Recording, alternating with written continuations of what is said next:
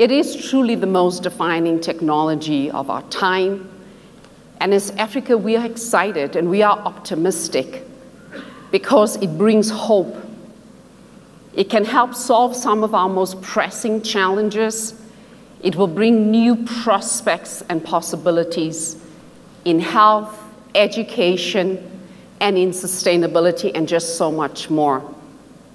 Now, we have seen significant investments in AI and in technology on the continent, and we believe that this technology can give us an upward trajectory when it comes to the African economy. In fact, um, analysts are predicting that we can increase the African economy by 50% by 2030 should we capture only 10% of the global AI market. And as Microsoft, we continue to invest and we continue to create enabling programs for businesses and governments.